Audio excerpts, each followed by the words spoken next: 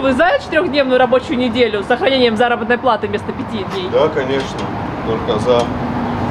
Я слышал об этой информации, как бы здравая идея. Больше будет времени свободного, то есть как бы личная жизнь, отдых. Хорошо, это замечательно. Три дня выходных это просто отлично. Да еще и зарплата сохранится. Зарплата сохранится. Это замечательно. Больше свободного времени. Почему нет? Больше времени с семьей, а, со своими хобби. Да не будет такого. Спасибо. А если бы было? Да не будет. Честно говорю. Мы пенсионеры работаем без выходных ненормально. Больше будет выходных, больше времени на восстановление сил. За, против. За. Больше времени личного будет. Всего больше, плюсов никаких других нету.